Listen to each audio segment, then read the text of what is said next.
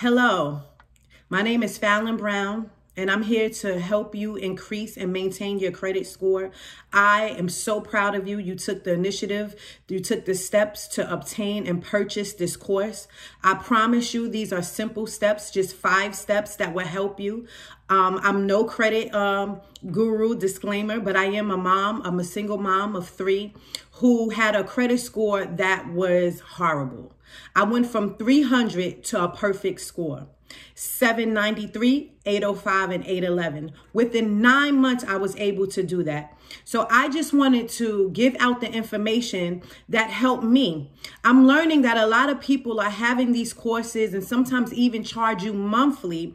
And I always hear the same thing that either your score is increasing a little bit or it's remaining the same, but yet you're still depleting your finances to try to obtain a higher score. With this with these steps that I implemented myself, everything that I'm telling you to do is what I did. You are guaranteed to win. Yes, guaranteed to win if you apply everything that I've said because I have done it. Within nine months, I was able to go from 300 to a perfect score. So that means that I know what I'm talking about. All I need you to do is to get a pen or paper, uh, a pen and paper, I'm sorry, or pencil, and make sure that you write down each and every step, as well as the little nuggets that I give along the way. Again, if you apply this information step by step, you are guaranteed to win within 30 to 60 days. Most people start seeing results. Um, people have seen results from 60 points to up into 114 points. And we're still going up and they're maintaining it. So I just want to give you these steps. Let's begin. First off, I want to explain to you the credit bureau and who is the credit bureau. So you have three credit bureaus that the agent, the credit um, agencies report to: Equifax, TransUnion, TransUnion, and Experian. Now, you have different systems that um, calculate your scores. You have um, things like a Vantage score, CreditWise, and FICO score. There's different types of FICO score. You got FICO 8, regular FICO, but for the most part, most lenders pull from the FICO score. Um, places like Credit Karma and things of that nature, they usually use a Vantage score, which is not bad, but it what it does is give you an idea of where you're at. But you always want to go to places like Experian or TransUnion itself and pull up your FICO score so you can have a great idea of the scores that most lenders will be pulling from. But again, things like um, you know, these other um agencies that give out your free score, you know, it's good. It gives an idea but you always want to focus on your FICO score as well. Things you should consider. I am looking down because I want to make sure I give you everything in its detail. So if I have notes, you should have your notepad too. Things you should consider. After seven years, the credit bureau must remove all charge offs or charges that have accumulated that is on your score. So what am I saying? If you have a T-Mobile bill that's $1,500 and it's seven years to the date of the current date, it has to be removed. So if the credit bureau has not removed it yet, you can do a dispute and they have to remove it. Even if another agency, because most agencies, what they do is they sell your debt. So when people are harassing you for your um for for the debt that you owe, most of the time it is not the original um debt um the original person that you took out the loan with. It is usually somebody that bought the debt for pennies and trying to get you know a higher amount from you. So when that happens, even after the seven year period, um, you don't have to pay that because honestly, they have to um, acknowledge when the date and how much was accumulated. So if they can't do that, or even if they do that, it is proving that it is seven years um to date and they have to remove that so that is something that you want to be mindful of when you are in the process of disputing and paying off debt Another um, thing that you want to consider, hard inquiries. A lot of people, you know, get discouraged with hard inquiries because sometimes it dings your score and you can go down significantly. But the truth of the matter is after three months, after three months, your score as you continue to pay and um, implement the steps that I'm going to give you, it will go right back. It, it um it, it will go back into formation of increasing. So you don't have to worry about that. But I will say plan ahead and minimize your hard inquiries at at least 9 to 12 months before trying to get a mortgage or a big loan. So this way you have time for your score to go back to um, a decent um, you know, a decent credit a, a decent credit percentage that you can get the mortgage or the loan. So just keep that for your information. Now let's get into the meaty parts. Again, if you implement these steps step by step, accurately the way I'm telling you to do it, you will increase your score and you will maintain it. The thing that I love about this course is most people will either tell you that they can fix it or they can increase, but you never get the tools to maintain your score. And the truth is financial education in any aspect is all about maintaining. It's like we all have accumulated a million dollars in our lifetime. We all have increased, but it's maintaining the finances. It's maintaining the increase that we have um um, have gotten that makes a big difference. So I want to teach you not only how to increase your credit score, but I'm giving you the tools how to maintain your credit score. The first thing you want to do is you want to pull your credit report. If you go to annual credit report.com annualcreditreport.com this is a site where you can pull your credit report for free. Every year they have to by law give you a free credit report. Um with with the things that's been happening with the crisis um with uh covid and a lot of things they were doing it weekly. I don't know if they're still doing it weekly but for years you can get your credit score at least once a year. So you want to make sure that you go to annualcreditreport.com and you fill out the information and they will give you your report right then and there if you have the um, accurate information. If you don't have the accurate information, they might tell you to send in um, your ID or something like that. But for the most part, it's just easy questions, questions about where you used to live, with um, you know, what lenders you ever dealt with, and they will give you your credit report right then and there. Once you obtain your um, credit report from annual credit creditreport.com. Now you have um, tools and a guide to go by. You can see who you owe. You can see the um, discrepancies with, you know, with what's on there that is not accurate, with, especially with all of the breaches till today, um, today that um, occur with lenders and businesses. There usually is a lot of things that's not accurate. So you get to see that and you can um, dispute, excuse me, and have an idea on what you owe. So that's the first thing you want to do. You want to go to annualcreditreport.com and you want to pull your credit report. After you pull your credit report, now you have an idea on what needs to take place, which you can um, pay off, which you can have removed, you know, but you have a solid foundation on the next steps to take. Step two, now you want to tackle what you owe. You want to tackle what is on this report. Once you see the things that you can fix after you dispute um, what was an error, now what you would do is you can pay off what you owe. Now, the thing what I like about this course, um, what is different about most people that tell you that they can fix your credit, they're charging you monthly. They're charging you all of these fees that can be used to uh, um to remove the debt. Instead of paying this person a thousand dollars, if you have a thousand dollar um debt, you can use that money and pay this debt. Now, I want to give you the God's honest truth on what I did when I paid that because you have to somewhere down the line you have to pay the debt. You know most people say, oh, they can remove this and remove that. There's still things that need to be owed that you would need to remove, at least to get you forward so your report doesn't look like you're a person that stays delinquent and doesn't pay. Now, what I did, what was good for me was I settled.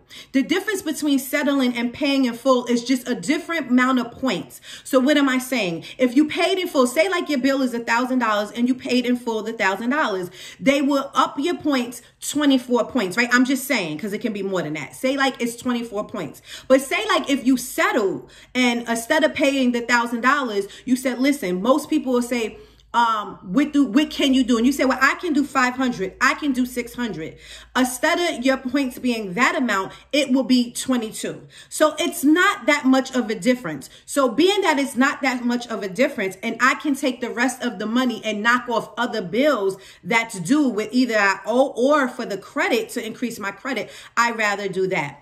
But when you do settle or pay in full, you make sure that they promise you that they will remove the um, debt from your credit report.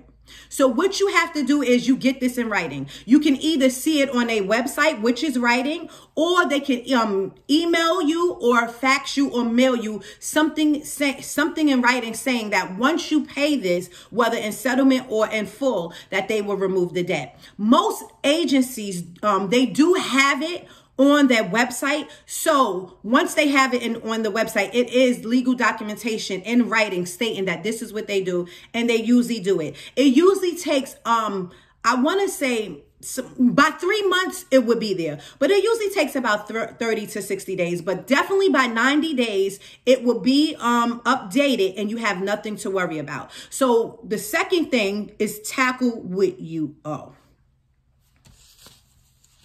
and this will this will very much significantly increase your credit score.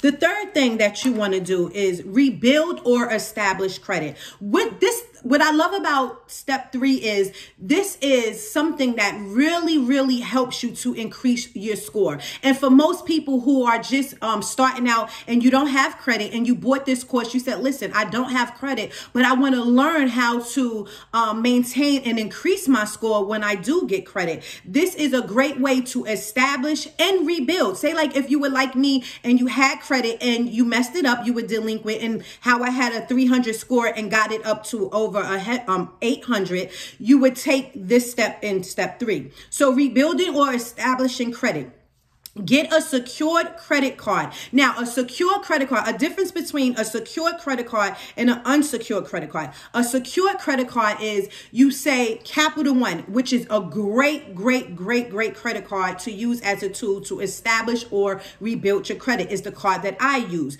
You go to Capital One and you say, listen, I want to rebuild my credit. They say, well, I will give you a secured card. With this secured card, you would have to give me $200. And I would say like most times that they they if they ask for two, they'll give you a credit score of 300. They'll offer you an extra 100. Now, you utilize this card as it's as if it's like a debit card, but they will report it to the credit bureaus like it is a credit card. So that is the good thing about a secured card. You're utilizing it to your to which best fits your needs, but it helps to increase your score. So you want to make sure that as you're using this card to either rebuild or establish credit, that you stay within the 30% range and you pay everything back in full on time. When you're establishing credit or rebuilding credit, you don't really want to have anything left over. You don't want to have anything that will um, accumulate interest. You want to show the company, um, in most cases, like let's say Capital One, you want to show Capital One that you're a responsible user. So you want to pay everything off right away. As we get further in the steps, I will tell you how to pay also, keep in mind with um, step three, with the rebuilding or um, establishing your credit, once you um, continuously on time, paying off everything, most of the time, especially with Capital One, they will give you a secured card. So that is amazing. That means this card that was unsecured is now a secured card. Now you have you a credit card and they will increase it. So for me, it went from 300 to 500 to offers to all types of things. Like I have um um airline cards, platinum cards. I have um you know, some cards with $10,000. Like you can just really, really um, leverage yourself and your, your core, your, um, your credit card can increase, your limits can increase. So you want to maximize step three. You want to make sure that you're paying everything in full. When you're in, when you're on step three, the rebuilding stage, you don't want to just have a little something left over. You want to pay it in full on time in full on time because you want them to see that you're responsible and you want to get your card turned into a secured card as soon as possible. Now, let's get into step four. Step four and step five, I really, really need you to pay attention because the, these steps right here, if you implement them correctly, it takes your score to a whole nother level. Now, step four is how to correctly assess um your payments when looking at your um statement right? So when you get when you get your statement from your credit cards whether you're rebuilding or you already have your credit cards now you get your you get your bill right? Your statement basically is your bill. You get your bill. You have a due date. You have a statement date. Most people just focus on a due date and go about their business. And that's where you're making the biggest mistake when it's time um, to increase your score. This is very vital, and a lot of people don't teach this. Your due date is what makes you be in good standing with the credit lender. So that means, let's say Capital One, we've been using Capital One. You pay by your due date, let's say January 9th. You pay January 9th. You're in good standing with them. But the credit bureaus, what we talked about um, in the beginning, Experian, uh, Experian TransUnion, Equifax, they report from the statement date from the statement date. They don't report from your due date. Your due date is just just they're just telling you by this date I need my money from you. But by the 13th, I have to the 13th that I have to report what you owe me. So if you pay attention to these two factors, it will make a great, great, great significance change to your credit score.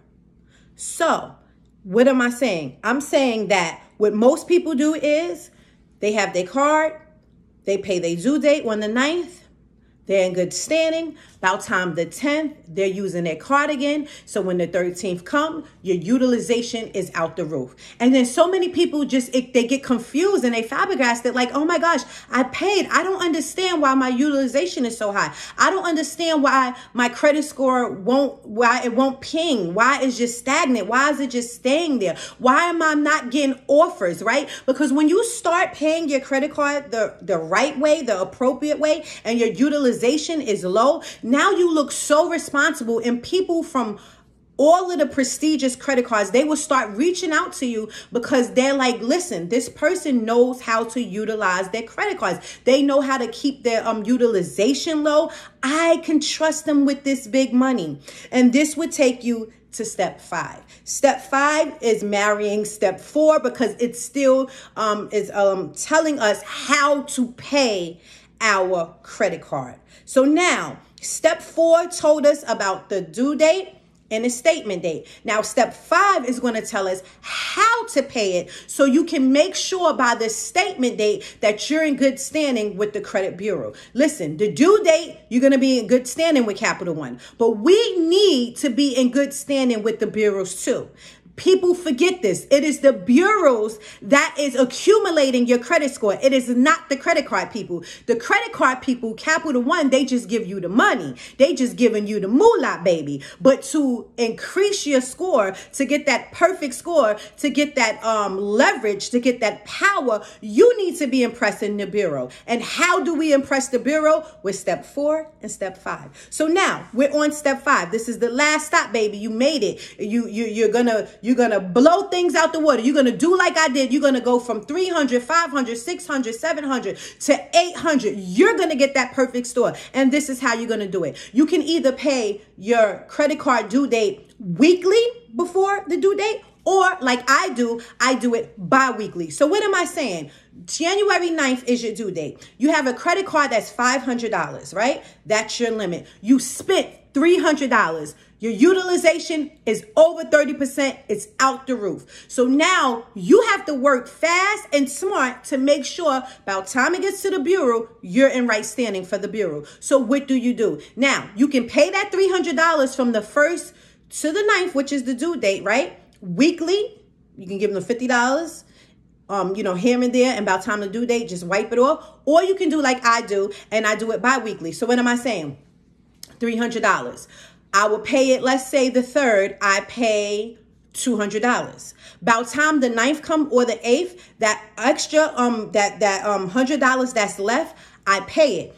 Now, listen carefully. If your credit card amount is $500 and your last payment is $100, that is what? 10%?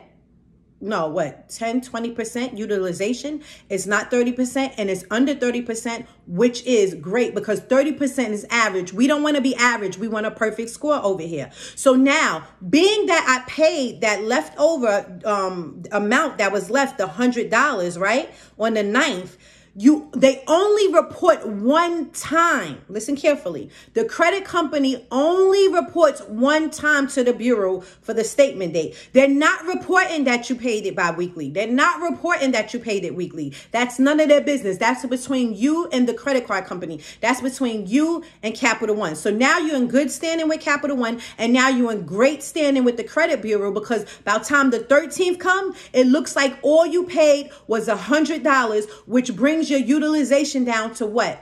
20% because $50 would be 10% and $100 is 20%. Now you're in great standing. Oh my goodness. You're paying on time and you have low utilization. This skyrockets your score. Some of our customers' scores have increased uh, by 114 points, 60 points, 80 points, all by utilizing these methods that I did. Guys, I went from a credit score from 300 to 811 in nine months by using these tools, manipulating the system. This is how you manipulate the system legally on time and accurately. So I'm so proud of you that you took the steps. I know it is not easy getting money up to pay for courses and investing in yourself, but we know that we are our, our best asset that we can ever be in this world beyond anything else is our self, our education. And you took the steps to add an asset to your mind. Now you know how to properly pay increase and maintain your credit card and also rebuild or establish credit. How great is that? Which is five simple, simple, simple practical tools. Please make sure that you took the um time to write down each step. If you haven't, you want to rewind this thing so you can write down each step. You want to make sure that you um be uh, deliberately um, applying each step and you will see an increase within 30 to 60 days guaranteed. Listen guys if you apply it i see you at the top. Have a great day. Enjoy and make sure whatever you do, you want to keep your utilization low. You don't want to have a utilization that's 30%.